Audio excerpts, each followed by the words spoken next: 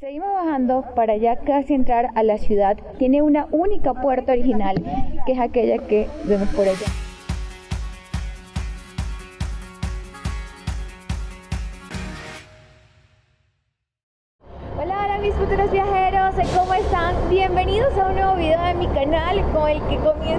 Muchísimo entusiasmo. En todos comienzo con entusiasmo, pero en este más todavía, porque hoy por fin voy a conocer el Machu Picchu y aquí estoy en Ollantaytambo, donde está los rieles del tren. Voy a tomarlo con la empresa Inca Rail. Aquí la tengo de fondo, ya casi casi vamos a montarnos para irnos a conocer este espectacular lugar. Tengo bastante, bastante sueño porque eh, la empresa Machu Picchu Travel me fue a buscar al hotel como a las 3 y 30, después de dos horas hemos llegado acá. Y ahora sí comenzamos viajando con Vero para el Machu Picchu.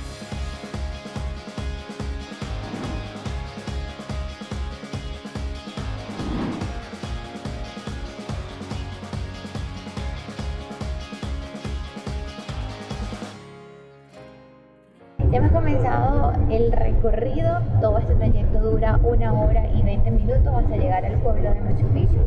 Es mi primera experiencia en tren, así que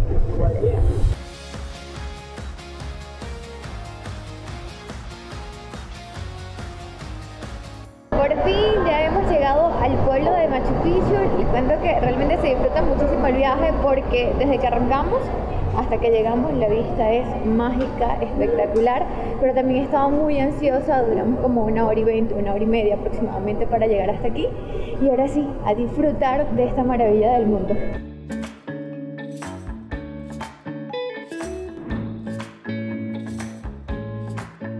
Mis futuros viajeros, antes de tomar el bus para llegar al Machu Picchu, voy a recorrer un poquito lo que es el pueblo de Machu Picchu. Estoy en la plaza, es aquí donde todos llegamos, nos tomamos la fotito de bienvenida y así porque es muy linda. Aquí están ahorita de festividades porque es el Día del Artesano y hay una agrupación que se llama Tulupa, el nombre viene de un dios andino que están tocando en este momento. Y realmente es un lugar muy lindo, está rodeado de muchísimos restaurantes. Acá pueden hospedarse, hay desde hostales de 30 dólares hasta hoteles, cadenas hoteleras muy, muy costosas, muy lujosas, de 450 dólares. Realmente todo va a depender de su presupuesto. El pueblo de Machu Picchu es conocido comúnmente como el pueblo de aguas calientes y eso debido a este río que pasa por debajo de este puente que se llama el río de aguas calientes. Ahora bien, ¿por qué se llama el río de aguas calientes? Porque acá en el pueblo de Machu Picchu hay unos baños termales que quedan hacia allá. Ay, Dios mío, cada vez, cada vez, cada vez falta menos. Ya tomé el bus desde el pueblo de Machu Picchu y estoy en el paradero desde donde vamos a comenzar ahora sí a caminar. Me voy a encontrar con mi guía de la agencia de viajes que ya les he hablado de ellos, Machu Picchu Travel, y comenzamos el recorrido para conocer el Machu Picchu. Ya estamos adentro del Parque Arqueológico Machu Picchu. Les presento a Jonel, él es mi guía de Machu Picchu Travel. Más o menos a cuántos metros de altura estamos aquí, Jonel. Ahorita estamos a 2.400 metros. Ah, no tan alto. No es altura, no es como el Cusco, ¿no? Es 3.500. Exacto. Más o menos como cuánto es el recorrido caminando. Lo que vamos a hacer ahora muy despacio son 3 horas. Tres horas, Tres muy horas despacio. Entre la parte de arriba, tomar las fotitos y conocer el lugar. Dis- Disfrutar punto por punto. Una maravilla del mundo aquí, ¿no? Una maravilla. Bueno, entonces comenzamos con esta vista espectacular.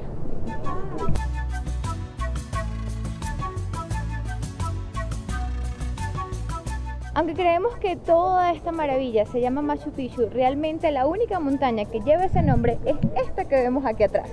Todo este parque es Gliacta de Machu Picchu. Gliacta, Gliacta es una palabra de quicho, entonces no, no sé si la voy a pronunciar bien. Así que mejor yo no le dice, ¿cómo se pronuncia? La llacta de Machu Picchu. la liacta de Machu Picchu. Seguimos caminando y recorriendo. Este es un lugar sagrado, por lo tanto hay muchas normas. Entre ellas está no gritar, no saltar, no emocionarse mucho, porque como les digo, es un lugar sagrado.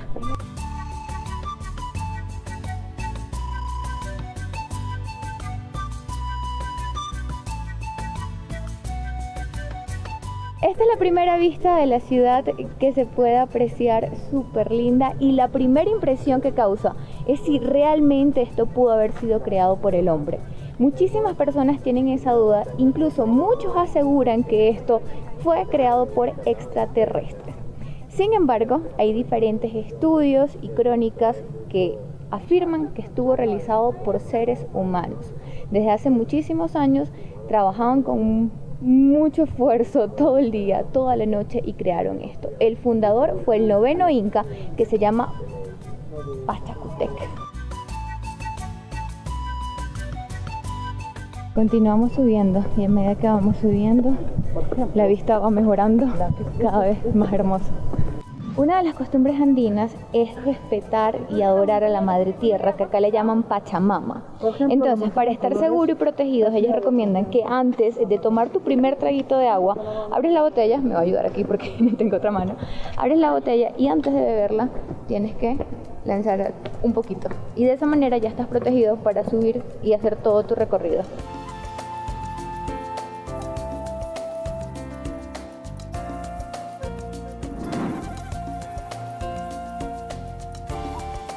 Algo súper importante de resaltar es que esta construcción de ya hace casi 600 años se mantiene el 70% intacta. Después de tanto tiempo, eso realmente es digno de admirar.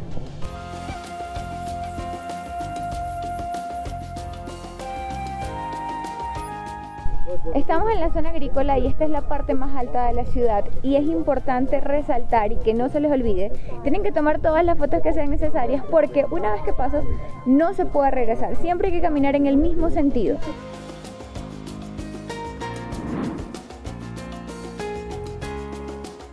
Seguimos bajando para ya casi entrar a la ciudad. Tiene una única puerta original, que es aquella que vemos por allá, igual ahorita se la muestro más de cerca. Es aproximadamente 172 eh, recintos arqueológicos y está dividida en dos partes. Acá la muestro. La parte de la nobleza, que es la parte más importante, y la parte intelectual, que es donde vivían las mujeres y donde estaban los colegios. Se aproxima que vivían entre 300 y 1000 personas en este lugar.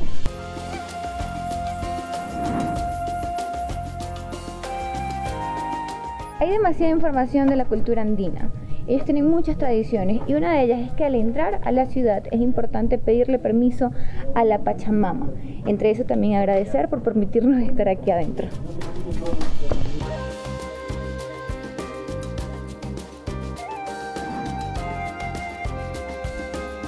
Hablando un poquito de la arquitectura inca, es importante recordar las tres S, sólido, sencillo y simétrico. Lo sencillo por el color de la piedra, lo simétrico por lo lineal y la perfección. Y lo sólido por la inclinación hacia adentro que tienen todos los muros. En este momento me encuentro en un lugar sagrado. Este es un templo súper importante porque es aquí donde estaba el dios supremo de la cultura andina. Lo llamaban como Hualacachi, pero el nombre es mucho más complejo que yo me lo traté de aprender, pero es que era muy difícil. Ayúdame, Janet. Eh, yo lo repito contigo. Apu, Apu, Contiti, Contiti, Ilia, Ilia, Texi, Texi, Pachayachachi, Pachayachachi, Huiracocha. Huilacocha. Ahora rapidito. Apu, Contiti, Ilia, Texi, Pachayachachi, Huiracocha. Yo no me podía aprender eso, ni con chuleta. Pero bueno, un lugar sagrado acá. Y de este lado está el Templo de las Tres Ventanas. Por acá abajo está la Cruz Andina, o llamada también la chacana. Es el símbolo característico y si desean llevarse un buen recuerdo del Machu Picchu, sería muy pero muy lindo comprarlo. Lo pueden comprar en oro, en plata o unos más baratos que cuestan desde un dólar.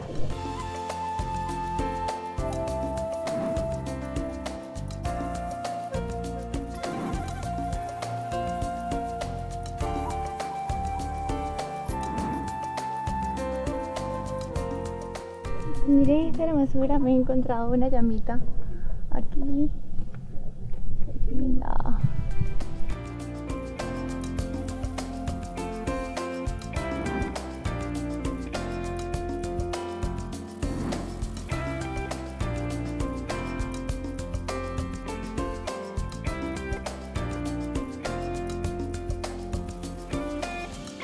Ya estamos prácticamente terminando todo este recorrido realmente un lugar mágico cargado de muchísima historia. Me he sentado aquí rapidito bajo esta sombrita para descansar y para darle algunas indicaciones. Importantísimo traer protector solar, una gorrita, un sombrero. No está permitido traer sombrillas, pero hay que cuidarse del sol. Yo me eché protector para mí, como que eso no hizo nada. Me puse súper negrita. No traje, no traje sombrero, así que por eso se lo recomiendo que ustedes sí lo hagan. En este lugar hay muchas reglas que hay que cumplir.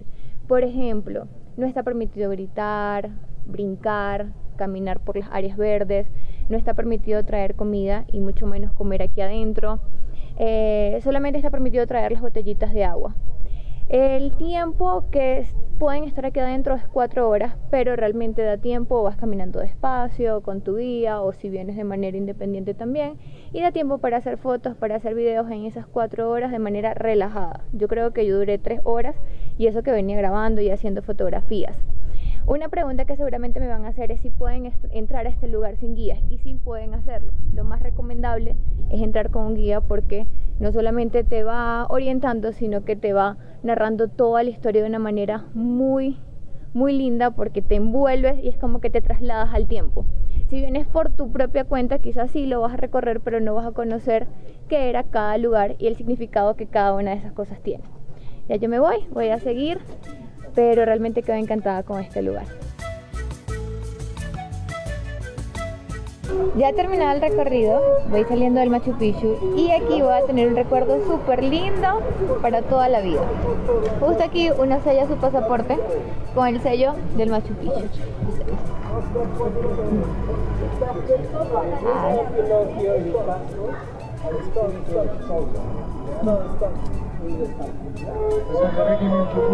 Machu Picchu.